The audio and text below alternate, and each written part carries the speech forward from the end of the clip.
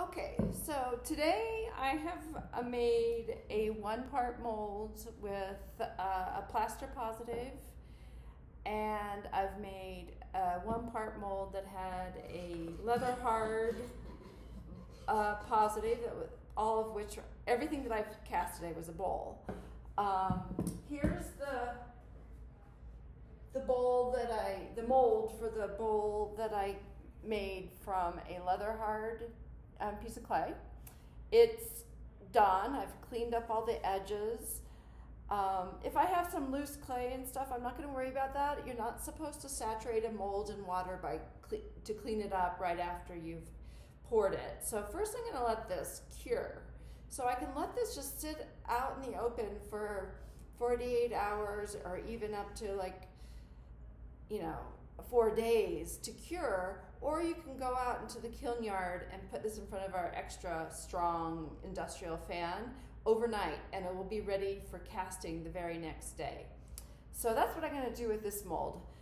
Um, I want to talk a little, I've just poured the second part of my two part bowl mold. And so I want to talk a little bit about cleaning up. I think you can probably see on the counter what a big, huge mess I've made. I used a bunch of cottles. I use the vinyl round flexible mold walls and I've got little chunks of plaster everywhere. I've got chunks of dried up clay that I used in the mold making process but now is too dry to do anything else with. So first of all, every cottle or anything tool that you use in, in this room needs to be put away um, clean. So I had put Vaseline on the inside of this cottle shape so that's why it looks so oily. So actually, the cleanup on that was really easy. That's one of the reasons why I use the Vaseline.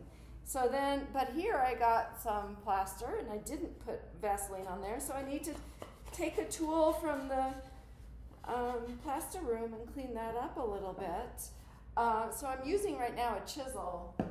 We also have this thing called a Baca tool, Baco tool and it's like a just a nice flat piece of steel that's very sharp on its edges. It's really great for cleaning up cottles. So clean them up so there's really no sign of plaster on them.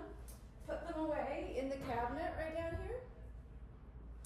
Um, and then say you used a Surform. I used a Surform, but I didn't get it very dirty.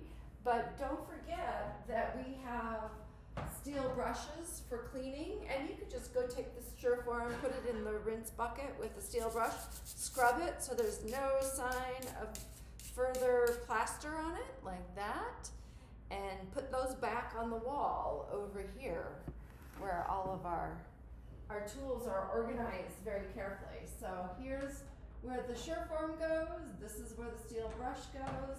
Basically everything has a home. Um, if you don't already have some sandpaper, you want to get some sandpaper this weekend because you're probably you're going to be using that at some point to clean up your your um, mold, to clean up your positive, or even clean up the th- the pieces that you cast. All right, so of course I'm going to go clean up this entire mess with a tool, a scraper or something, wipe it down. If I have little chunks of dried plaster, I'll scrape those off and then when I'm done cleaning, this countertop should be spotless for the next person. Um, and then, but what, so I will do the same for the floor, where I will make sure that I scrape off any spilled plaster and I then sweep and mop.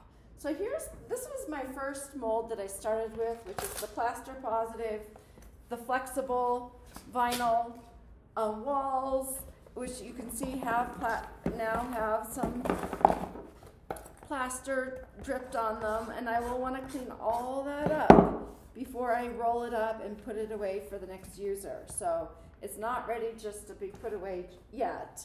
So here's my um, my mold now. It's uh, it's, you know I, it's got some funny things on the top. Again, I want to go and just quickly um, clean up that upper edge like that all the way around. I'll finish that up off video so you don't have to watch the whole tedious process. And then I need to separate my positive from my ware board. That can sometimes be a little hard. Um, I can hug it so it doesn't fall and hit really hard against the table just use a scraper to take it off. And now I've got it like this. So I have my ring for pouring that's a little bit bigger than the diameter of my plaster. And I still have to get the plaster out of there, which to me is a little daunting. This is still needs to set up a little bit more, so I won't be doing that just yet. I will wait till this has heated up and cooled before I go um, try to get my my plaster positive out of, of this um, mold. But I can do a little bit of cleanup as as I wait for it to cure. Um, again, the chisel is really fantastic. If you catch this before it's fully cured, it's actually a little bit faster, which is nice. Um, I can also, if I want, I could grab a Brillo pad or a piece of sandpaper and clean this up.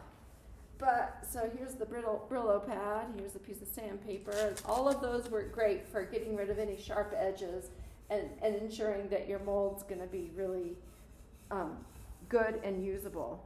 But remember, I don't want to take this to the sink and um, and rinse it off because you're not supposed to get a curing um, plaster mold wet until after it's done curing. So that's about all I'm going to do on this piece right now. I'll just put it aside, come back to it once it's fully cured.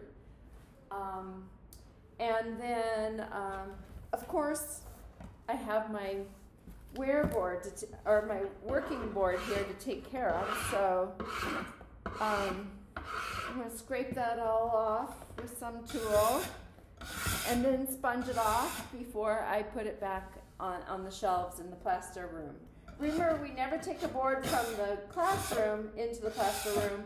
We have lots of boards in here for the use with mold making. And most of them are melamine, which is nice because the plaster doesn't really stick to melamine. So here's my two part mold now. And I'm going to be taking that apart. Um,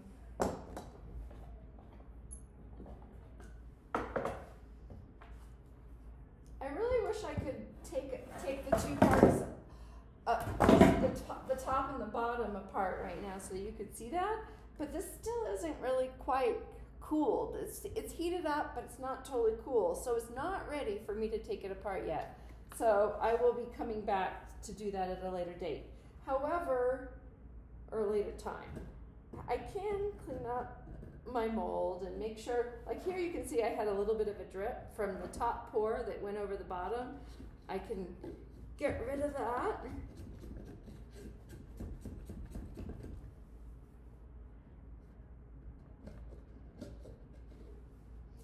And um, so eventually, when this has cured just a little bit more, how I would go about um, taking it apart is finding a place where I can really see that the div- division between the top and the bottom side.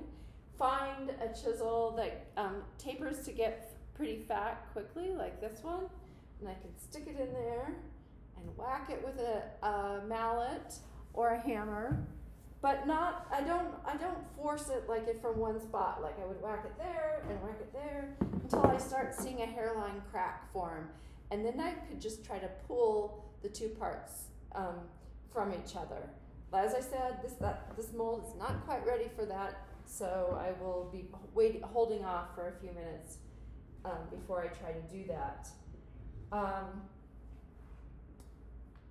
let me see. So, uh, last thing I want to say today in this video is just that um, mold making is very messy and you need to give yourself at least half an hour to fully clean up after you are done with your pouring. Um, please do not leave a mess, it will offend everyone. And it's really rude and difficult for the next person who's coming in wanting to make a mold. So I'm just cleaning up those edges. One other fun thing I can do, if I can find a tool, we have a lot of great tools here for most of the, these are mostly for um, um, making sure that your your clay meets up your positive really nicely. But one thing I can do is I can write my name on here. I can write Sid or TJ, and you know I could write bowl 2020 and uh, because it's still soft enough that I can do that. But aside from that, that's about it. I need to stop this video and start my 30 minutes of cleanup because as you can see, I still have quite a bit of a mess. So we'll, we'll follow up next week. We'll get to cast these bowls. You can watch me cast the ones that I just made. And um, I'll come back and do a video talking about how I took, showing how I take this apart. Thank you.